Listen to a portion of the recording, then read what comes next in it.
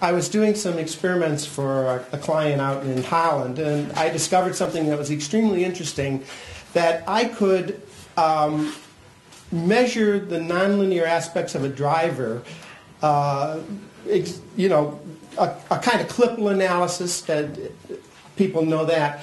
Um, without the use of a microphone or an accelerometer, with nothing but purely electrical measurements. And it was actually quite simple and quite astounding, and I had not realized this was possible before. I contacted a couple of, um, of uh, loudspeaker measurement uh, software companies, see if they'd be interested in, in working this out, putting it in their software. And both these companies said, yes, yes, we're, we're, we're very interested, we're very interested, you know, but it's been three months and neither of them has done anything.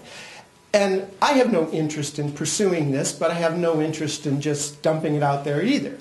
Um, so I guess my, I'm putting it out there for anybody here or anybody who's listening that if you have an interest in this, contact me privately. I'm not going to disclose the technique publicly because that would blow the whole patentability argument, but we can have a private conversation and that's not disclosed, then patentability is still allowed.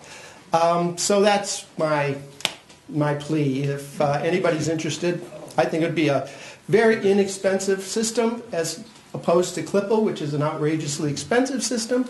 Uh, I think the popularity would be enormous.